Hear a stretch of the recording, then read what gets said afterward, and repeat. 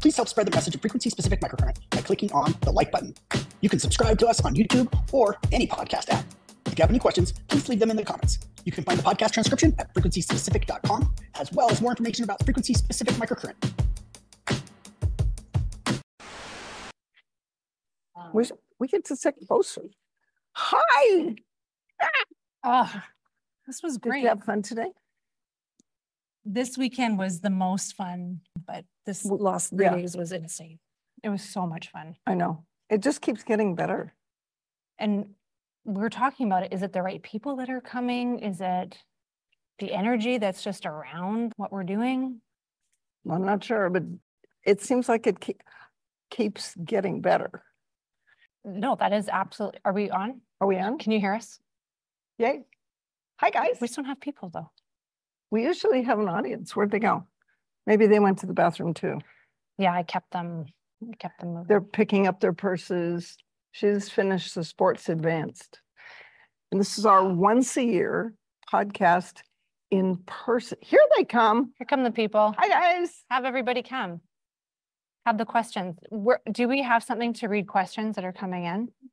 Kevin, do we have something to read questions that are coming in? Normally, we have something to read our questions. I didn't bring my laptop. Questions from the chat. Now that you mention it, I can fix it. Look on Kevin's face. So here we are in beautiful Arizona. Chandler, Arizona. We did a five day Like- tour last week. And then I don't know where to look. I don't know where to look. It's like we look at the screen. normally- Yeah, it's wait, I can look at you, but then I'm not looking. at I you. But If I look at you in the screen, then there they are. Yes. Five day core last week.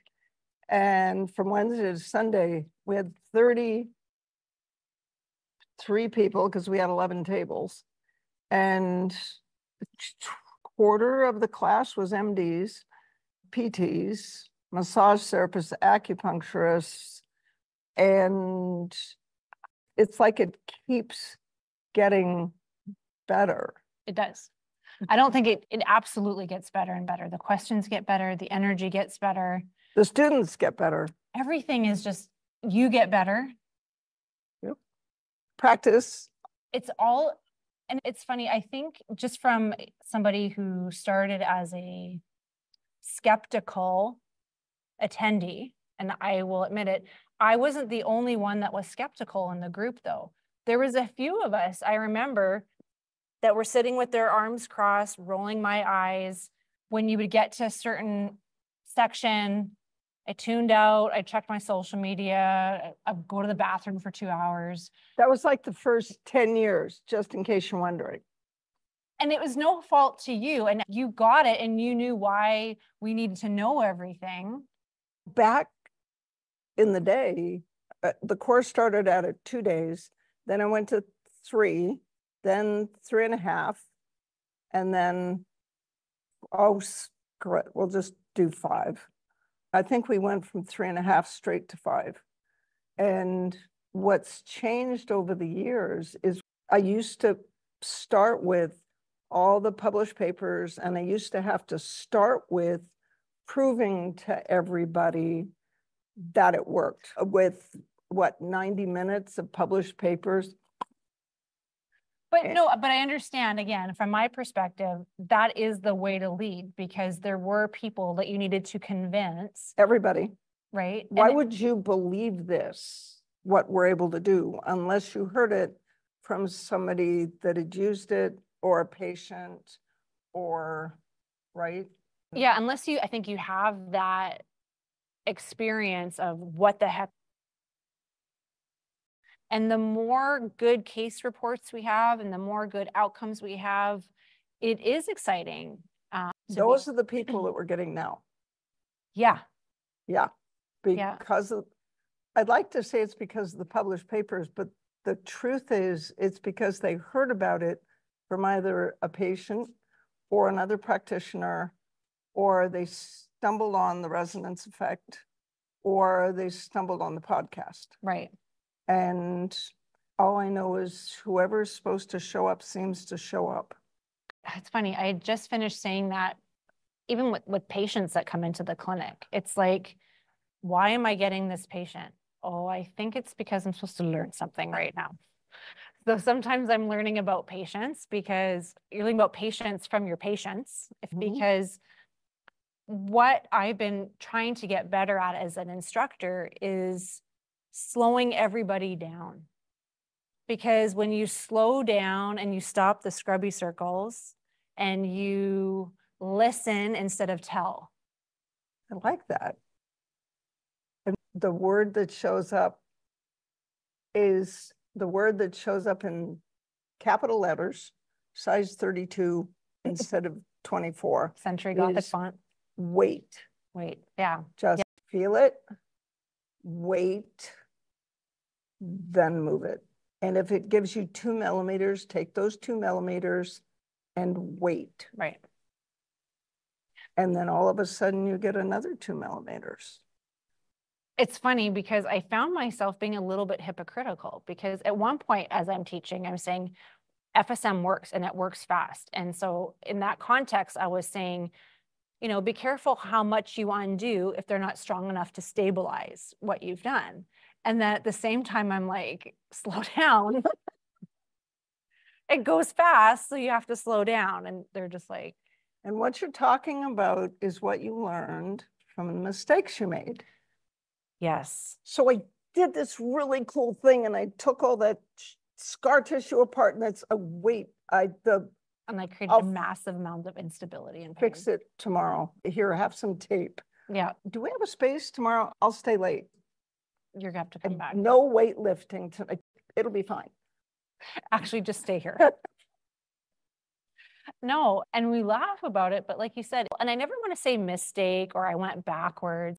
So we talked about symbolism. I'm taking this course right now on positive coaching. And we had to pick a symbol and why it was important to us. So my symbol for the year is a grasshopper. Oh. Do you know why? Tell me grasshopper.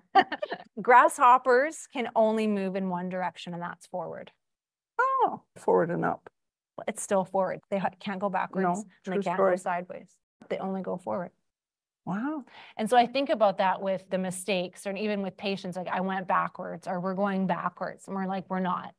Sometimes we're staying where we are and sometimes that can be super frustrating.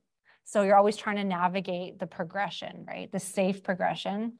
But even the mistakes are teaching us something. And if the lesson is learned, that's still a forward move in my Not exactly a mistake. It's a lesson. It's a learning experience. Right. It's what did I learn?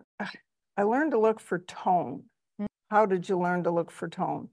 I fixed it the first time by accident.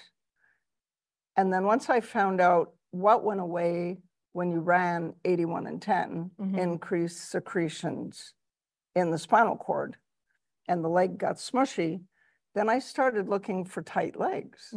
And once you look for them and you have a way to fix them, it's a Right. learning experience. Yeah. And then I want to go back to the, I don't know, 200 people I saw between 1990s, okay, maybe five, a bunch of people I saw until I f- saw 81 and 10 in 2015. Yeah.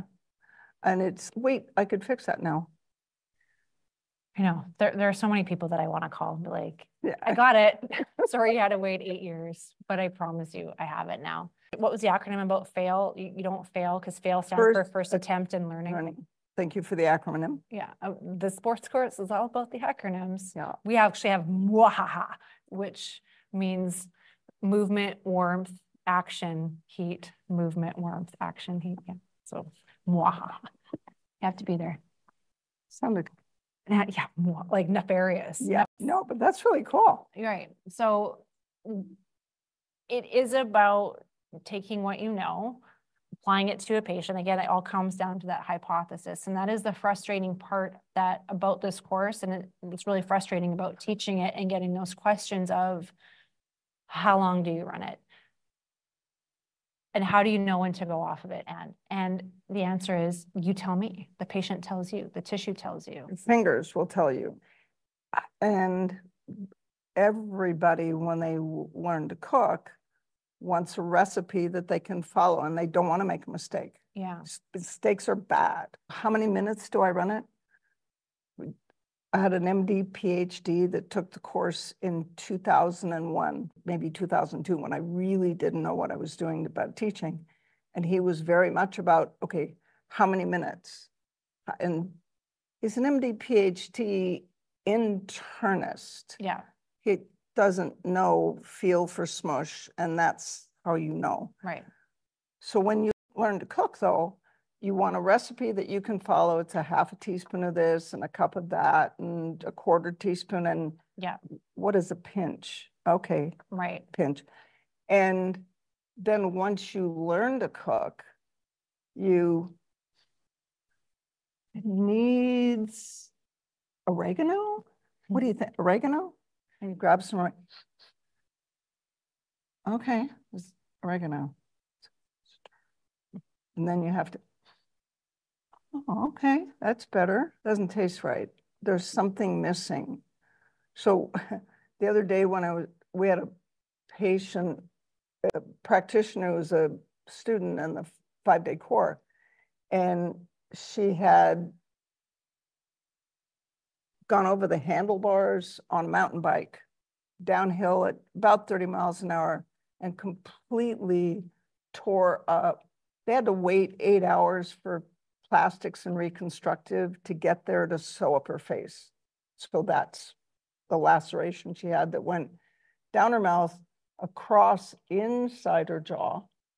And her complaint was TMJ. The practitioners working on her dutifully looked up the TMJ slide and they were running 124 and 77 for the pterygoids. And I got over there 20 minutes after they'd been running 124 and 77, torn and broken in the connective tissue in the pterygoids. And she had maybe a finger and a half opening. And I said, so tell me what happened. Then I saw the scar. And then she described that they had to sew her lower lip back. Are you okay? Yeah. Okay. On to her gums back there. What's there? Here.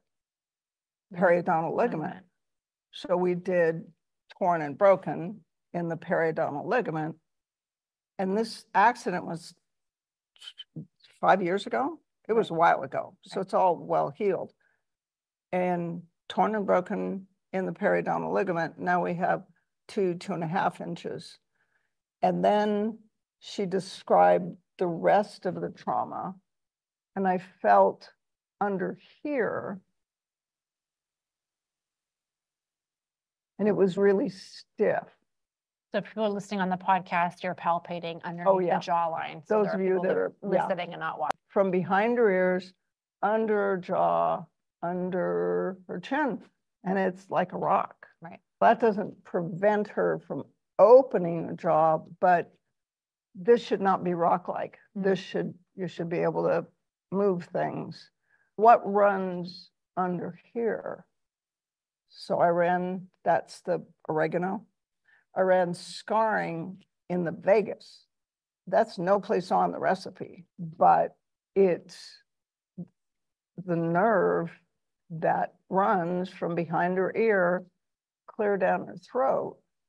And if it's scarred, and it runs all inside the mouth, Mhm. comes from behind the ear, into the palate, into the gum, in, Mhm. under the tongue. And We're getting quite a we little question. oh, uh, Kevin figured, I knew he would. And when we ran scarring in the vagus, we got three fingers of movement and she could stick her tongue out Right. because the fibers of the vagus are all inside the mouth, the salivary glands, the gum, the tongue, the palate, all Right. of that. Yeah, so Right. that's the mileage part. it- so the new challenge for me as I'm learning to teach this is giving enough ingredients, my list of ingredients without being too overwhelming with that list of ingredients, keeping the directions simple, Right? but creating enough hope that you're going to make the most amazing souffle or beef Wellington that you could ever dream possible because it's possible, right? Mhm. But it's okay to have a very basic sandwich too. I love the conversation you had yesterday about what five conditions would you take with you to a desert island and what eight tissues would you take? Okay, again, you're in my brain at all the best times I'm. Sitting, yeah. So you're, we're really like downloading off each other right Uh-huh. now. And that's the thing, we have, you come to the sports course, you get a laminate, you come to the court, you get a laminate, you come to the advanced, you get five laminates. So the, e- you end up having thousands of frequency combination pairs, and it can be extremely overwhelming. It's a spice cabinet where you can't see the stuff that's in the back row unless you put it on a turntable. Spice cabinet, it's one of those weird Spice World stores where you're just like, where did this even come from and how do I even use it? But I think I always try to say like you have, you know, for scarring, for instance, like there's six frequencies right off the top of my head I can think of that can help with something that is tight and or adhered and or hard and or calcified, all that stuff. But if I'm on an island and I'm only allowed to pick five A channels, what am I going to pick for scarring? That's going to be 13. Thirteen. I get the most bang for my buck when I run 13. However, I am aware that so this is my like, Himalayan rock salt, right? This is my 13. But I am aware that there's table salt and kosher salt and hickory smoked salt, and there's different salts if I want to increase salt. Garlic salt. There's garlic salt, right? Yeah. I think that's the challenge is not limiting people because for me, I want them to think about what's wrong. I don't want to limit them into thinking it's just scarred because it's not just scarred or adhered. And then it gets worse than that because So why is it scarred and adhered? Yeah, there's the why is it scarred and adhered? And then it's really easy to think that the lady that couldn't open her jaw beyond that, that the problem was scarring Mhm, in the connective tissue, the muscle, the fascia, Mhm. when what makes it relax is torn and broken. Okay, so let's talk about that because things don't get, in very rare cases, because things absolutely can do, and we talked about this a couple hours ago. But for the most part, I think we can all agree that things get scarred because they tear. Fair enough, yeah. With FSM, if we go under the principle that we're always trying to find the driver, We're Right. always trying to figure out, it's, yes, it's what's wrong and where is it occurring, but now we really capitalize on what's wrong. Okay, how did it get like that? Why is it scarred? What are the clues? What are the clues? Follow the breadcrumbs. So it becomes complicated, but it doesn't because I think we should always be thinking, even before FSM, like, why is the shoulder like that? Why is it stopping here? I don't know, it just stops. And I think we become lazy sometimes with our approach because, and again, we see this so often with the glenohumeral joint. Mm, Patients come in with pain in the shoulder. They come in pain, they point to the anterior shoulder and they're like, it hurts here. And everybody looks there and injects there and ices there. And it's hurting there because it's torn and broken and overworked and fatigued because the scapula can't move. So it's the ba- most basic example I can think of. Unless it's a four or five disc and what's hurting here is the C4 nerve root. So two different approaches, both of them have nothing to do with the glenohumeral joint. Yeah. The glenohumeral joint doesn't hurt because it just decides to one day. Yeah. And the thing that gives especially new students hope when they leave completely overwhelmed is that one slide that says, oh, just dive in. You can't hurt anybody. And you will learn how to do this by working on people because the frequencies are so reproducible. And doing the basics from the recipe card, you can help 50, 60% of what walks in the door. Right. And for those people, the 50 or 60% that walk in the door, you are a miracle worker. It's, I have had this for X years and nobody has been able to fix it. And you made all this huge difference in 45 minutes. We both said 45 minutes. You come in, you get treated, and then you have, Mhm, yeah, mhm. forty-five. Yeah, this is spooky. But yeah, the, the, the point of it is, I think, and we're talking very much on a practitioner level because we're here and we're teaching everybody right now. But for the patients that are experiencing it, sometimes, yeah, you will have a practitioner that kind of bounces around with frequencies and a hypothesis. And it's not that they don't know what they're doing, it's that there are a lot of options and they're trying to provide you with the best possible outcome. And sometimes, like I was explaining today, it takes time. It's not my timeline. It's not what the textbook tells me how long a tendon heals timeline. It's not the patient's perceived idea of how long they have to do this. You have to respect the timeline of the tissue.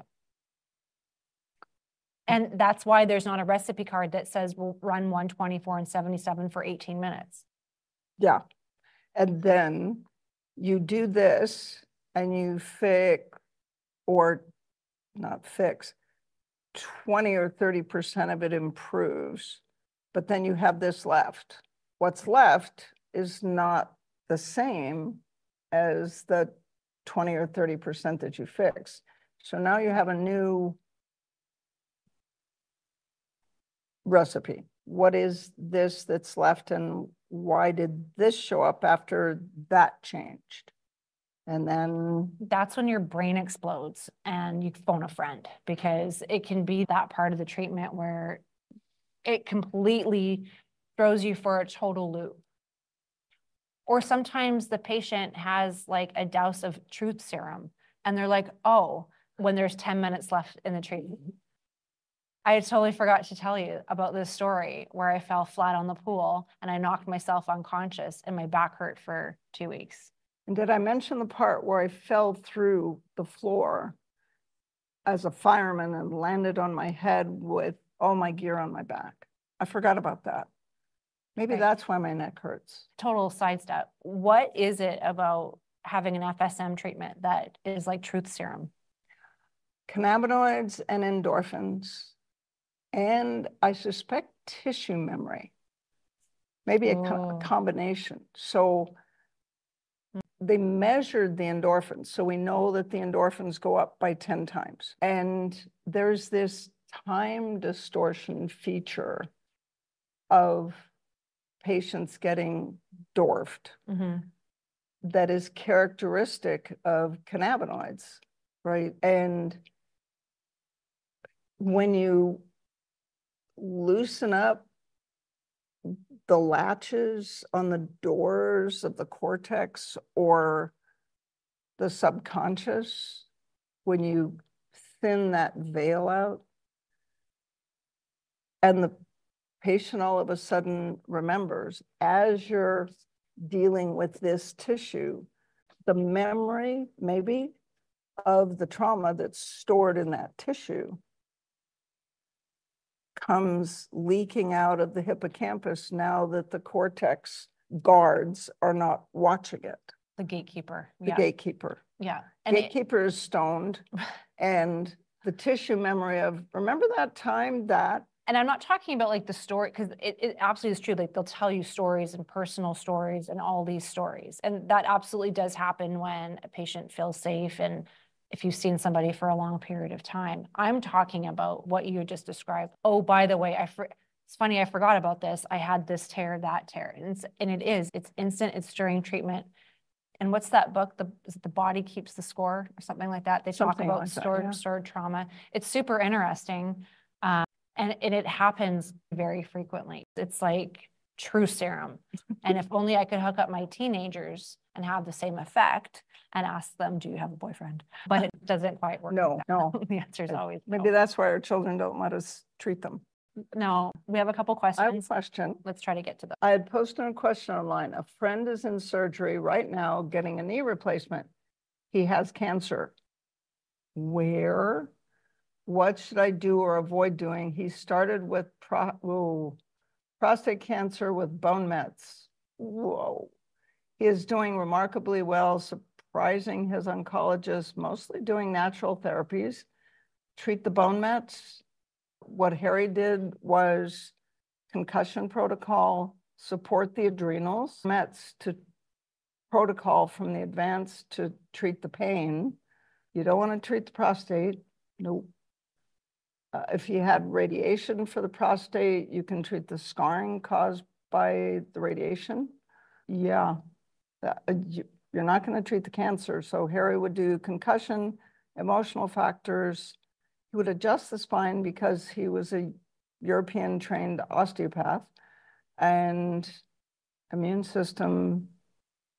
And for us, because we have a pro protocol from the advance that's really good for bone mets and bone mets, it's hard to keep the pain down. Is the knee replacement because of the bone mets or hmm. did they need the knee replacement anyway? Or is the knee needing replacement because the bone mets just happen to be in the distal end of the femur and there's that. It's those little details that. The mm-hmm. little details with FSM become the important pivotal details. And for patients that are, are listening, there's never a detail that is too small. So somebody will always say, I don't know if this is relevant, but oh, I love it. oh, the fact that you're saying, I'm not sure if this is relevant means it's like more relevant than you could ever imagine it being relevant, right? Yeah. Speaking of which, just so every practitioner listening, I just I have to tell you what happened yesterday. Let's do it. That's why so we're here. I have these three days off while you teach the sports. And I agreed to see a patient yesterday in the lobby who had tracked me down on email. And he described something and I answered and he said, I don't actually understand what you said. I didn't realize I had a traumatic brain injury. How does somebody have a, anyway, so I agreed to meet him at one o'clock. And he told me the mechanism of action. And I watched his eyes move. And I said, How do you feel about going into Costco? Oh, I can't go into Costco. He listed the number of people that have treated him with different things. I started to get better. And then I had this treatment and I was symptom free for six weeks. And then I had that treatment and I got knocked for a loop for 18 months. And so this has been 10 years. And he's seen neurologists and GPs and all of that. And I said, You hate going into Costco keep your head straight forward, follow my finger with your eyes. And his eyes are bouncing all over the place. And right there in the lobby of the hotel, back in the corner, because he's very sound sensitive in one ear, I explained about vestibular injuries mm. and that he had one. And this is what you do. And he said, and I have this terrible head pain from the head injury is the pain going through your right eye? He said, yeah, it feels like it's just a poker in my eye. Mm-hmm. That's coming from your neck. There's no way to have the kind of fall you had without jamming these two joints, and those two joints are where your pain is coming from. And that's different from the fact that you feel woozy and you get anxious in Costco. So in basically an hour and a half, without ever touching him, except for the follow my finger with your eyes, he said, why don't more people know about this? Right. And I said, everybody that's ever taken my class, they learn 45 minutes of this because of four three, four physicians that I worked with that taught me about vestibular injuries and then all the patients. So in that 90 minutes, I changed that guy's life with without ever touching him. So some of what happens in the core is just what you know that nobody else knows. Yeah, you're right. And so there's that part of it. Then there's the FSM part, mm-hmm. which is the tool that lets you do what nobody else can do. To me, you just said the most important part. Like FSM is not about devices, it's not about frequency, it's about how to use it and where to look for it.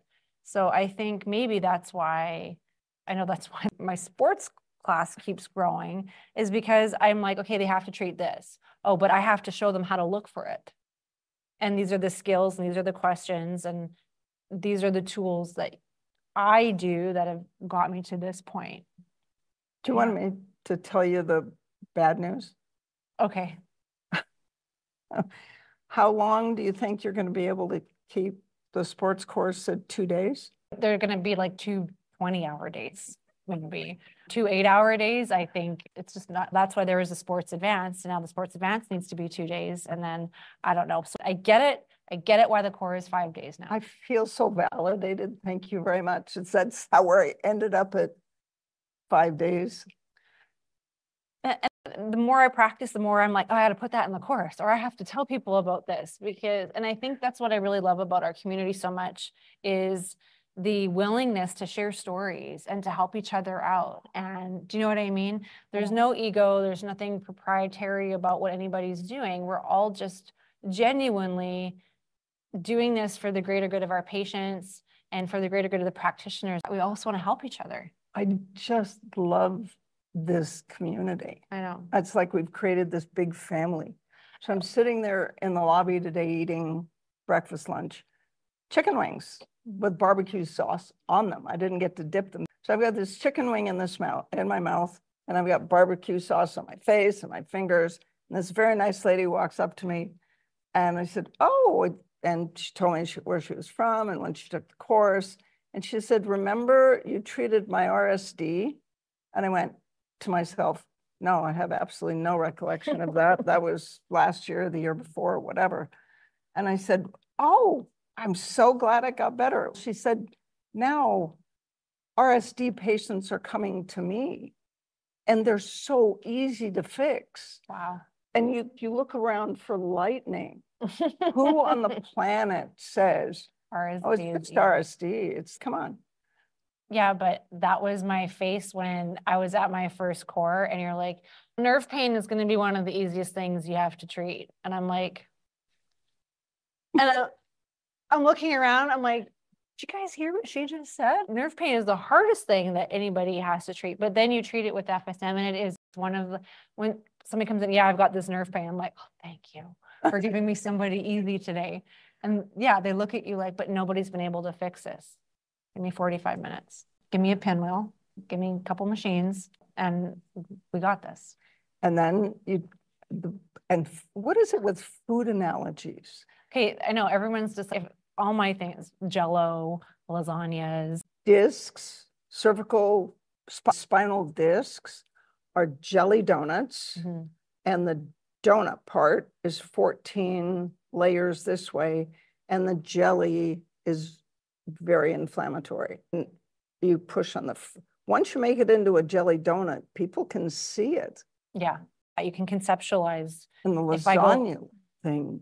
Because the body is layered. And so you got the noodle and you've got the muscle and the fascia and the connective tissue and the Don't cheese. The cheese, yeah. cheese. Sometimes you've got ricotta cheese and mozzarella and there's different cheese. So there's different layers of fascia.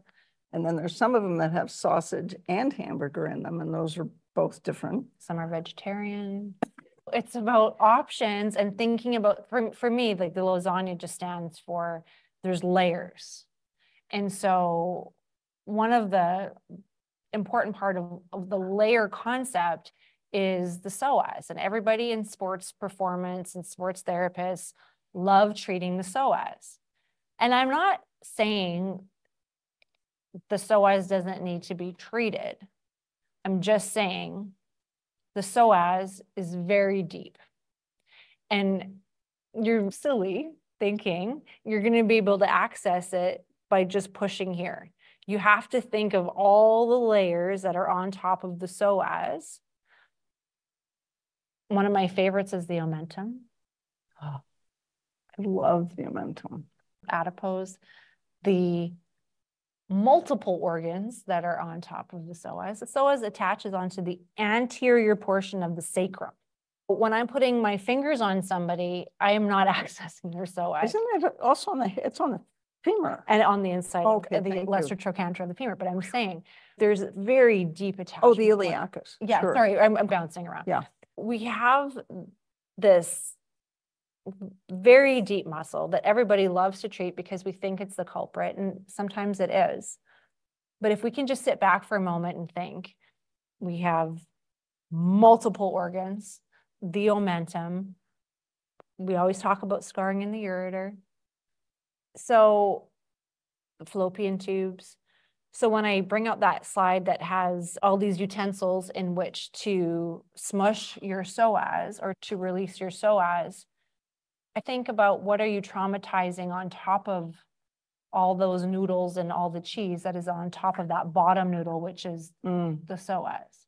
And if there is a way to melt those layers and release the adhesions without creating more pressure, which could create more scarring, which could create more bleed. pain, bleeding. The layer analogy is, I think, a very, or the lasagna or the food is a very helpful tool. And that's how I explain it to patients who think, I just want you to press really hard and release it. I'm not your girl. I'm sorry. You can go somewhere else for press real hard. I can release it and not press hard. How about Mhm. them apples? I had one this week. Okay. So you know how I went the psoas and the ureter. So you come off the rectus abdominis, you fall into that groove before you get to the obliques, and there's a psoas. And the psoas was really tight. If the psoas is really tight, and it's the ureter, which it's like eighty percent of the time, ninety percent of the time, it's the ureter. It's really sore. Mm. It's, and I put my hands on it and it was just really tight. And her right pelvis was torqued up. So the right psoas, the right pelvis is twisted. And she's very athletic, works out. And then I reached down and touched her leg. That's tone. Would you mind if I tried something? Because the team at the table was, so I just took a washcloth from there and put a washcloth under her foot and we ran increased secretions in the spinal cord. And the legs softened up and it goes up the front. And then the psoas just lengthened and her pelvis went that way. And I asked her, when did you hurt your neck? I, what? I said, this thing it, in your leg, when did you start having trouble running? Hmm. And she described something she was doing with weights. Mm. That was a surprise to me. Uh, The psoas is always the ureter, really. And the, then the kidney, and then the whole pelvis goes smush and our hero and it's easy and, And and that, then it, go on. 81 and 10? And that's not to say that you can't go and, and treat the psoas later or, and it's going to have to learn how to activate. And that is my favorite part of the story. And now that it's longer, it has no idea what to do with her hip or her trunk because it's always been short and tight. Now that it's long, it's weak and stupid. But ignorant, that's a better word. Yeah, I, I just think that they're offline, right? There's just no way that you're going to recruit a muscle that is adhered or is going to be the primary mover in hurting a joint. So when there's like a bone spur, for instance, or calcification or some, we talk about hip impingement. So if there's a bony overgrowth on the femoral neck or on the acetabulum, we're not going to get recruitment to that area because it's going to hurt. So when you remove the pathology, sometimes it takes a little bit. So if there's scarring in the ureter or whatever there is, it takes a bit to get that muscle online confidently. And there comes our favorite superhero 40 and 89 to uh-huh, save uh-huh. the day to say, you know what, I get it. You were terrified of doing this, It's gonna be fine. but what you were scared of is gone. So you can come out from underneath the bed again. So that's my favorite part. And then once the hippocampus and the thalamus are under the bed, then you get the cerebellum to say, come here, I got something for you. Haven't talked to him in a really long time, Right. but come get this. You, you just stay under the bed and you run in. and this is something I've started doing in the core. Ask the people that, whose brains are oozing out of their skull this week. Early on, it's after you do this, then you coordinate it with the central nervous system. And this is before we've even covered any of the central nervous system. All those poor people. I know it's cruel, but they understand the concept. Right. And then I turn it into frequencies, but everybody knows that your arm doesn't move on its own. Right. There's a nerve, there's a spinal cord, it goes to the cerebellum, it starts in the sensory cortex, it goes like that. Yeah. At least I hope everybody knows that. I, I would imagine that's a Yeah. reasonable expectation. It's so nice to be in Phoenix. Let's grab another question, just so we can make sure that they're being answered, because we love when people take the time to text us. Occasional swollen tissue behind the cervical spine. Is it lymph? Nope, nope. The lymphatics in the C-spine are in the front. When I look at the lymphatics, there's not a whole lot that goes down the back. It all goes, it drains Yeah. from down the front. I'm not Live, sure live studio audience, anybody have anything? to- swollen means. Yeah, but swollen how? Is it, is it just an enlarged two, three, three, four facet? I don't know. Can it be related to spinal inflammation? My vote would be spinal inflammation and joint adhesions. Hmm. All right, I think a client with a pacemaker defibrillator says that his heart rot problem arises from scar tissue in the cardiac septum from childhood. He's at wit's end as asking whether FSM might be effective and whether it would be safe. I've seen comments in the Facebook group regarding being able to safely treat clients with pacemakers, defibrillators, using the converter. That's a really complicated, that's way more cardiology than most of us have to deal with. His heart problem, so if he has a pacemaker defibrillator, means that either he comes in and out of ventricular tachycardia. Actually, yeah, because the cardiac septum is between the ventricles, right? The mm-hmm. atrium has a little thin separation. He's at his wit's end. Why? I was wondering if there's a different part to that. Like I didn't, I don't understand. Why is he at his wit's end? If you're still online, add what he's on his wits end about. Yes, because when you're, when you have a risk of ventricular tachycardia, they put you on beta blockers.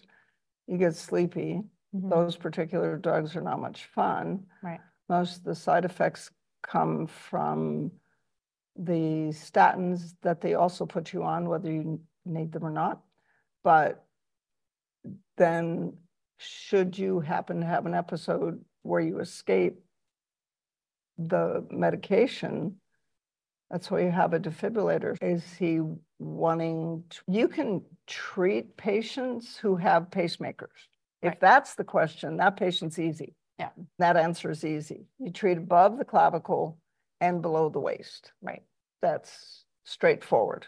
But if you're asking, can I get rid of the scar tissue in the septum that's causing the left bundle branch block or the right bundle branch block or the arrhythmia? Whoa. At night, his pulse increases to over 160, causing the defibrillator to fire. He'd like to try and treat the cause, the scar tissue, and the heart. Well, since the major side effect of beta blockers is, unless it's atrial fib, so is it ventricular tachycardia or atrial fib? If it's ventricular tachycardia, there are long-acting meds that he takes before he goes to bed that just sit on his heart rate. But yeah, having your defibrillator fire hurts and does tend to wake you up. You Wow. also should have a sleep study because if your heart rate goes to 160, there's a pretty good chance you've got sleep apnea. And I really don't care if you don't like the little mask cannula thing. I'm not a good person to talk about sleep apnea because I'm not very sympathetic. You are. to- Now, when it comes to sleep apnea, We just need to sleep. Sleep is the most important component. and sleep apnea, when you stop, my tachycardia is vagus related. And it's, okay, oh, goody, answers. I'm glad you're listening. Thank you for helping us out here. It is ventricular tach.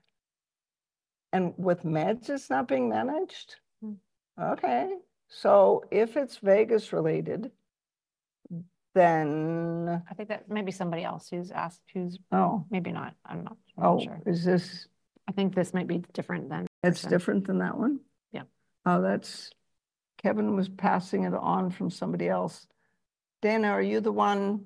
Oh, you're someone else in Yeah, the chat? yeah. Okay, Thank you. so her tachycardia is vagus related, Not the person who. and so you run increased secretions in the vagus in a long vagus tone protocol that you run at night. Yeah, cardiac stuff is not our specialty. Hmm. And treating things that get people dead makes me nervous. Mm. Rightfully, let's turn this boat around. Moving this, yes, I was saying on the sports, and you heard me talk about this before. We always talk about if you're on an island yeah, and I get to take my custom care, okay. but I can only load five frequencies on A. I'm going to shorten this. I'm going to say three. Making you do it. Three, You only take three A channels with you. okay, What's your first? 40, Okay. And number two 13. And number. Oh, I have to have four, 81 and 124. Yeah, I know, right? I had It's a like- really time it's like, between those You know, two. you have to give us at least five. And my 81, I was also fluctuating between 49 because it's Oh, like yeah, sometimes you don't want so much 81, you just want a little 49, but sometimes or a lot of 49 49. Yeah, but sometimes the 49 works. You're just like, now I have to do 81. Yeah. Okay, for those of you that Let's don't talk the about list. this. Okay, so our very first was 40. Quiet the activity of or decrease the inflammation of. We always need to have that in our toolkit. Number two was 13. 13. Helps with scar tissue, helps with adhesions because we're on the island and we're going to need to fix that. Number three was a toss up between 49 and 81 Yeah, because we need to increase the vitality in the secretions to something or the Whatever. activity of, right? And then number four was torn and broken because we're definitely going to tear and break things on the island. and being torn and broken causes inflammation and that eventually causes scarring as whatever got torn and broken healed. And so you relieve the scarring, but then you have to give it vitality to get back to work. That's five. So note to self, never go to a desert island without at least five Five- channel five channel A's.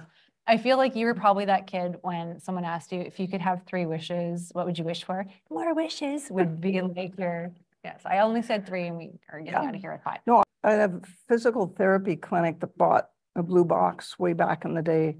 So they had a, the PTs that had been trained, but then they had technicians that were using the old precision micro out on the floor.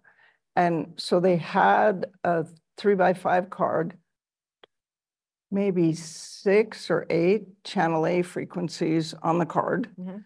And they had nerve, fascia, artery, connective tissue, tendon, bursa, and periosteum on the right. Yeah. And they had it on one. two Yeah. three by five index cards, Mhm. scotch taped to the top of the machine. Yeah. That would work. Yeah, sometimes you just need. It's so hypocritical because this is not about the quick recipe of how to make a grilled cheese sandwich, which by the way, are delicious sandwiches. I loved grilled cheese sandwiches. Because, but then you can put the turkey in and then sometimes you want a eh. coconut oil and then you're gonna need to dip, dip it in your tomato soup. And so it's getting close to dinner, but, okay, so those were our eight channels and now you gotta pick. But you're on a desert island. Yeah. You have to have 18 and 62. That's a frequency to stop bleeding. And there's that. So now there's five or six. Yeah. So channel B, if you're going to have 18, uh, you've got to you've 62, 62, which is the artery uh, and the muscle belly, Right. we had- connective tissue. Right, seventy-seven. If we had forty and eighty-one, then we definitely need ten, Yeah. And the cord, yeah, uh, spinal cord and the nerve. for ninety-six. I'm also gonna be terrified, so I might need eighty-nine. Cause I'm Yeah, on the they're island. Terrified, they're, they're, they're stuck on a desert island with a, a therapist that's got this box with six batteries. And instead of getting food, we just want to connect somebody and, Yeah, and hook them up oh, after we feed them. after we feed them. Yeah, so that's how it is, right? I think that is always a train of thought is start with what makes sense. What is your hypothesis? Where do you think you're gonna get the most benefit from? But be unattached to the hypothesis enough that you can pivot or adapt or however we phrase it in case it's not working. Oh, And those of you that cook, once you've made the same recipe five or six times, is there anybody that follows the recipe exactly? Yeah, that is definitely not enough cinnamon. It Mhm. says a quarter of a teaspoon. Am I'm kidding. So you put two teaspoons of cinnamon in it. And so it's that way with FSM. You start with the basics and you can do so much. Yeah. But then as you get more adept and more practice, you, You expand your, your spice cabinet. yeah, which is what the advanced is about. But just as fair warning to everybody that's coming, I changed it this year. And then I invited too many speakers because we have three days. And so I said yes to everybody that offered to speak and I asked what, and then I forgot the case reports, so that took care of Sunday morning. So I still have only two mornings. And yeah, so there's that. So the last food analogy that I'm going to make today is like, your preparation for this is like, I'm sure going to your house and making sure that you're the person that's like, there's not going to be enough food. And then there's so much food that you're eating the same meal for days and days because you never want to run out of food when you have company coming over. So that is what the advances turned into like, I don't want to have a lack of knowledge or a lack of presenters or a lack of case studies or a lack of content when all these people are coming to my house for dinner. And I'm Italian. And there's that. So it's like a double whammy. So you like you have no choice Table is but to always be, full. eat, learn. We have practitioners from all over the US Yeah. Canada, world, like, and Ireland, uh, Rome. right? uh, Belgium, Oh, Belgium. I have to meet the lady from Belgium. Chile. someone Chile, there's Chile, somebody here from Chile that I haven't met yet. Yeah. The lady from Belgium I haven't met yet. Mm. And so it's Uh, like having a big family reunion. Yeah. Our favorite two weeks of the year. The family reunion where you actually like all the family members. And you're excited to hang with them. Exactly. Yeah. So there's that. I didn't think this hour could be faster, Well, but we it is did- absolutely faster. It is. We are in person. Yeah. Did we make any sense at all? I don't know. We had people in the sports class just talking about like how great the podcast is. And I'm like, oh, it's so valuable. I learn something every time I listen. I'm like, well, that really makes me feel good because sometimes as like I click off my computer, I'm like, What did we just talk about? we talk about, I know I was muting myself because my dog was barking and all these things were happening, but I hope that all made sense. And it helps that maybe everybody that we're talking to is ADD as we are, Uh, you're right, because Maybe. if you put a GPS on this conversation, it would definitely not do that. There's no linear. No, it's like one of those, how did they get there? And then they, well, it made sense to us. Right. It's We had to go exploring. exactly. You just follow, what did you call it? Follow the breadcrumbs. I suspect that's going to be the title of this one. No, following the breadcrumbs. Maybe. All Or- right. Kevin thinks up the titles. And we have David Eakes here. Hi, David. Hey, And hi, everybody. I'm Kevin. And hi, everybody. All right. And everybody watching us, whenever you're watching us, thanks for watching and listening and all the things. And we'll see you next time. Are we going to be here next week? We are. We both said that at the same time. What do I have to do something like this? I won't do the, yeah, okay. See you next week. Bye. The Frequency Specific Microcurrent podcast has been produced by Frequency Specific Seminars for entertainment, educational, and information purposes only. The information and opinion provided in the podcast are not medical advice, do not create any type of doctor patient relationship, and unless expressly stated, do not reflect the opinions of its affiliates, subsidiaries, or sponsors, or the hosts or any of the podcast guests or affiliated professional organizations. No person should act or refrain from acting on the basis of the content provided in any podcast without first seeking appropriate medical advice and counseling. No information provided in any podcast should be used as a substitute for personalized medical advice and counseling. FSS expressly disclaims any and all liability relating to any actions taken or not taken based on or any contents of this podcast.